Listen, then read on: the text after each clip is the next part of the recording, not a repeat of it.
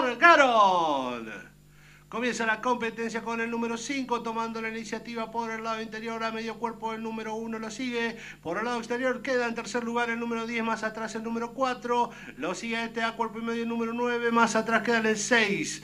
Entrando al codo, el número 5 continúa marcando las acciones. El número 10 por el lado exterior gana metros y se coloca en segundo lugar. Lo sigue este, el número 1. Más atrás queda el número 4. A dos largos el número 9. A tres cuerpos el 6. Pasada la mitad de codo el número 5. Marca el camino con un cuerpo de ventaja sobre el número 10. Por el lado exterior se acerca el puntero número 4. Más atrás queda por los palos el 1. Y hacen el ingreso en este momento en la recta final. 400 metros para el disco. El número 5 tiene ventaja. Intenta la escapada por el centro de la pista, lo sigue el número 10, más atrás el 1 por afuera, atropella el número 9, 150 metros para el disco, por el lado exterior el número 9 en par y sobrepasa al número 5, el número 10 insiste para ir por el segundo lugar, 120 metros finales, el 9 empieza a la ventaja al número 5, lo sigue este el número 10 por el lado exterior, el número 11, pocos metros para el disco, el 9 se queda con la carrera seguido del número 5 y 11, cruzaron el disco.